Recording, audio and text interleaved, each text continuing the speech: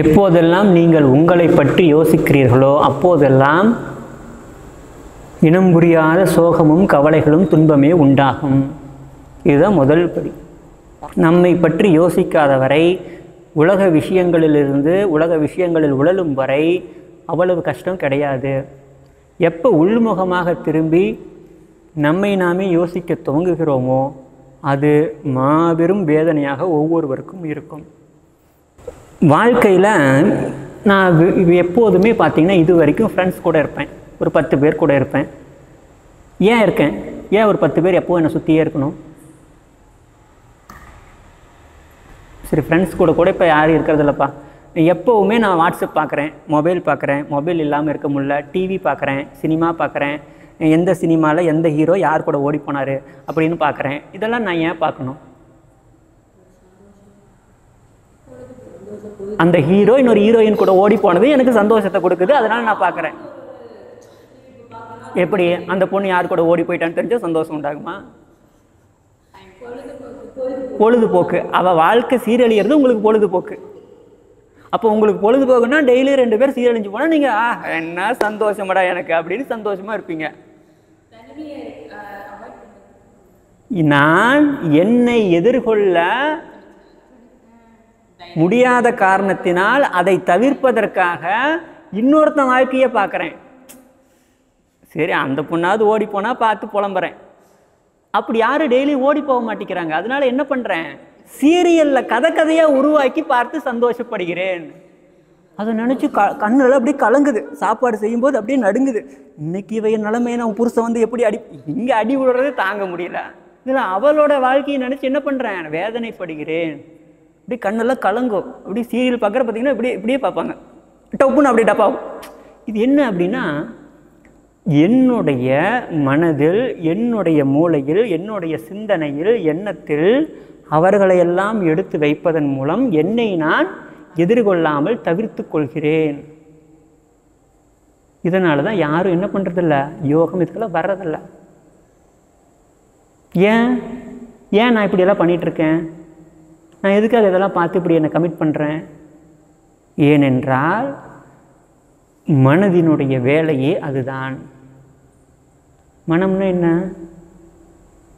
Full of negative energy தேவையில்லாத எதிர்மறைகளை எல்லாம் போட்டு வைக்கக்கூடிய ஒரு குப்பையாக வளர்ந்திருக்கிறது.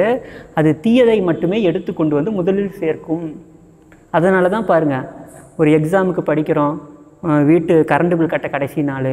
ஒரு முக்கியமான ஒரு ஒரு இறந்த நாள் ஏதாவது ஒரு நாள் இதையெல்லாம் ஞாபகத்தில் வைக்கிறதுக்கு என்ன பண்ணாது? மனம் இடம் கொடுக்காது. அந்த பொண்ணு இன்னைக்கு எப்படி அடி வாங்க போகிறா அவள் சீரியலில் நேற்று என்னானா அப்படிங்கிறது என்ன பண்ணுது? சதா சர்வ காலமும் சிந்தனையில் ஓடிக்கொண்டே இருக்கிறது. அதற்கு காரணம் என்ன? என்னுடைய மனம் அவ்வளவு மாசு உற்றதாக இருக்கிறது. ஏன் இப்படி மனம் உண்டாச்சு? மனதினுடைய இயல்பே அதுதான். இயல்பே அதுதான். அப்போ இந்த இயல்பிலிருந்து நான் என்னை வெளியே கொண்டு வருவது முதல் படி அப்போ அந்த மனதின் பிடியிலிருந்து வெளியே வந்து மேற்கொண்டு வாழ்வை துவங்குவது தான் முதல் படியாக இருக்கும். ஏன்னா யாரெல்லாம் மனதினுடைய இந்த பிடியில் சிக்குகிறார்களோ அவர்கள் நிச்சயமாக உடல் நோய்கள் என்பது தவிர்க்க முடியாத ஒன்று. ஏனென்றால் மனமும் உடலும் வேறு வேறு அல்ல. இரண்டுமே ஒன்றுதான். ரெண்டுமே ஒன்று தான் ஏன்? எல்லாரும் நல்லா தானே இருக்கீங்க? அங்கே பாருங்க ஒரு கருப்பு உருவம் நம்மளை நோக்கி வேகமாக வந்துட்டு இருக்கு. பாருங்க. பார்க்குற நேரத்தில் ஒரு கருப்பு உருவத்தை வேகமாக கொண்டாந்து உங்க முன்னாடி நிறுத்துறேன். என்ன ஆகும்? பயம் வந்தால் என்ன ஆகும் அடுத்து? பாதி பேருக்கு பேதி ஆயிரும். ஐயோ உருவம் வந்துருச்சுடா. தூக்கிட்டு போகுதுடா. இந்த எண்ணமே என்ன பண்ணுது? அவ்வளவு நுண்மையானது நுட்பமானது. இந்த மனம். அது பட்ட அடுத்த சன நேரத்தில் உடலில் என்ன ஆகுது ப்ராசஸை உண்டாக்கிடும் ஒரு நெகட்டிவான எனர்ஜி வந்தாலும் சரி பாசிட்டிவான விஷயம் வந்தாலும் சரி மனம் இப்படி தான் ரியாக்ட் பண்ணும். இப்போ நேர்மறை எண்ணங்கள் நேர்மறை சிந்தனைகளை கொடுத்தா என்னவாகும்? மனம் ஆரோக்கியமாக இருக்கும். உடல் ஆரோக்கியமாக இருக்கும். நோய்கள் என்பது காணாமல் போகும்.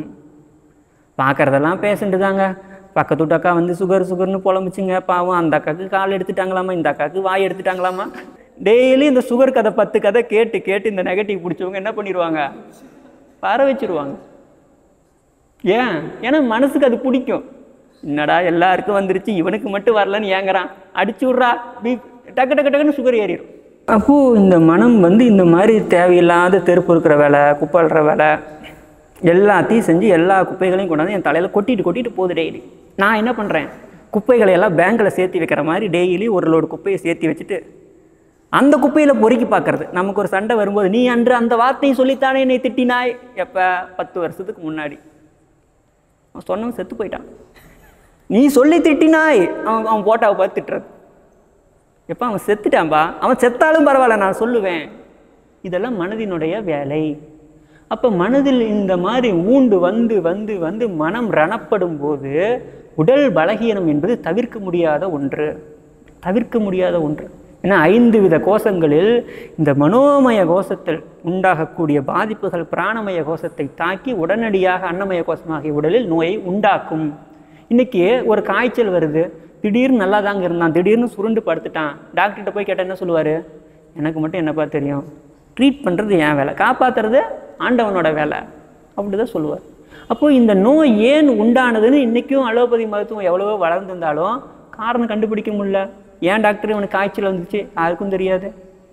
ஏன் திடீர்னு ஹார்ட் அட்டாக் வந்து நெஞ்ச பிடிச்சான்? யாருக்கும் தெரியாது. நல்லா தான் இருந்தான். திடீர்னு செத்து போயிட்டான். யாருக்கும் தெரியாது. அப்போது இது எல்லாமே எங்கே இருக்கிறது? மன பலகீனம் உண்டாகும் போதே உடலில் நோய்கள் வர துவங்கி விடுகிறது. அதனால தான் நம்ம என்ன சொல்கிறோம் எவன் உ- மந்திரத்தை உண்டவர்க்கு மரணமே இல்லையே அப்படின்னு சிவபாக்கியர் சொல்வார் மந்திரம் என்பது எது? மனோதிடம்தான் மந்திரமாக இருக்கும். இப்போ மந்திரங்கள் கொடுக்கப்பட்டதன் நோக்கம் என்ன? மந்திரங்களை உச்சாடனம் செய்வதன் நோக்கம் என்ன? மந்திரங்கள் என்ன செய்யும் அப்படின்னா மனோதிடத்தை உண்டாக்கும் சங்கல்பத்தை உண்டாக்கும். எந்த விதமான ஆபத்துகள் வந்தாலும் எவ்வளவு கஷ்டங்கள் வந்தாலும் என்னாகும்? சங்கல்பம் என்ற ஒன்று உண்டாகும் போது எவ்வளவு பெரிய ஆபத்துகளும் பனி போல விலகுவதை காண்பீர்கள். இப்போ மந்திரங்களுக்கு அளப்பரிய மகிமை உண்டு.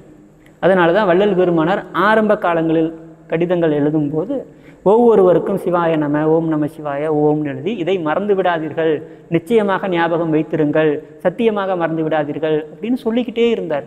ஏன்? வேற எதை சொன்னாலும் நீ மறந்துடுவ எதை சொன்னாலும் பிரயோஜனம் இல்லை. எந்த பிரச்சனை வந்தாலும் எந்த ஒன்றுக்கு இருந்தால் எல்லாத்தையும் சரி பண்ண முடியுமோ அந்த ஒன்றை அடைவது தான் புத்திசாலித்தனம். யாரோ வந்து குறைகளை சொல்கிறாங்க வறுமையை சொல்கிறாங்க பணம் கொடுக்கணும் பொருளாதார எந்த பிரச்சனை வந்தாலும் எங்கே பாதிக்குது? மனதை பாதிக்குதா? மனதுக்கு தானே வருது. இப்போ அந்த மனதில் திடம் உண்டாகும் போது எது வந்தாலும் அஞ்சேல் அப்படிங்கிற அந்த இப்போ எது நடந்தாலும் அஞ்சேல் அப்படின்னு நான் உண்டாயிட்டுன்னா என்ன ஆகும்? உடல் மிகப்பெரிய பலம் பெறும். அந்த பலத்துக்கு முன்னாடி என்ன பண்ண முடியாது? எவ்வளவு பெரிய கவலைகள் துன்பங்கள் துயரங்கள் வந்தாலும் எனக்கு தன்னம்பிக்கையும் தைரியமும் இருக்கும். அப்போ அதற்காகத்தான் நாம் இன்றைய தினம் என்ன பண்ண போறோம்னா ஒரு அழகான ஒரு அற்புதமான மந்திர உபதேசமாகிய ஒரு மந்திரத்தை நாம் இப்போ பயிற்சி பண்ண போகிறோம் இதன் மூலமாக பல அதிசயங்களும் வாழ்வியல் வெற்றிகளும் நிச்சயமாக கிடைக்கும். ஒரு விஷயத்தை மட்டும் மறந்துடக்கூடாது இந்த மந்திரங்கள் ஒவ்வொன்றுமே பலவிதமான சூட்சுமமான வேலைகளை செய்யக்கூடியது. ஏனென்றால் இந்த உலகம் உருவாகி இதில் பலவிதமான உயிரின தன்மாற்றங்கள் அடைந்ததாகட்டும் இந்த பிரபஞ்சம் முழுக்க தொடர்பு என்பது ஒளி அலைகளால் சவுண்டால் கனெக்ட் ஆகிருக்கு சவுண்டு அப்போ இந்த சவுண்டு ஒளி அலைகள் என்னவாக இருக்குது பிரம்மமாக இருக்குது அது எங்கும் வியாபித்து இருக்கிறது. நம்ம பிரபஞ்சத்துக்கு வெளியில் போனாலும் என்ன இருக்குது ஒளி அலைகள் இருக்கிறது. அப்போ என்டையர் காஸ்மாஸும் எப்படி இருக்குது ஒரு பிரம்ம ஒளியில் இருக்கிறது. நான் அதிலிருந்து விலகி இருக்கிறேன். ஒரு மீனானது கடலிலே இருக்கிறது. எப்படி இருக்கும்? கலர் கலராக இருக்குமா? கம்ஃபர்ட் ஜோனில் இருக்கும். கடலில் இருக்கிற வரைக்கும். ஒரு வேடன் போட்டு தூக்கிட்டான். அப்போ எப்படி இருக்கும்? ஐயா ஜாலி என்னை பிடிச்சிட்டு போகிறாங்க அப்படின்னா சொல்லும். துடிதுடிக்கும் பதட்டமாகவும் உயிருக்கு பயம் உண்டாகும். அதே போல் நாம் எப்போதெல்லாம் இந்த பிரம்மத்தோடு கலந்திருக்கிறோமோ அப்போது நாம் நம்மளோட கம்ஃபர்ட் ஜோன் சத்து சித்து ஆனந்தமாகிய சச்சிதானந்த ஸ்வரூபத்தில் இருப்போம். எப்போதெல்லாம் அதிலிருந்து விலகுகிறோமோ அப்போதெல்லாம் என்ன ஆயிடுவோம் பயம் பதட்டம் எல்லா வித நோய்களும் உண்டாகும். இப்போ மீண்டும் இணைதல் அப்படின்னு பேர். எதுக்கு? யோகத்துக்கு. ஸோ எந்த ஒன்றிலிருந்து நாம் உண்டாகி வெளியே வந்தோமோ அந்த ஒன்றோடு மீண்டும் இணைதல். மூலம் நோக்கி திரும்புதல். அப்படி திரும்பக்கூடிய ஒரு அற்புதமான மந்திர ஜபம். ஸோ முதுகு கழுத்து தலை இவற்றை நேராக வைத்து நெரும் நேராக நிமிர்ந்து அமர்ந்த நிலை கரங்கள் இரண்டையும் சின்முத்திரையில் வைத்து அப்படியே முழங்கால்கள் மீது ஆள்காட்டி விரலும் பு- இந்த கட்டை விரலும் ஒன்றாக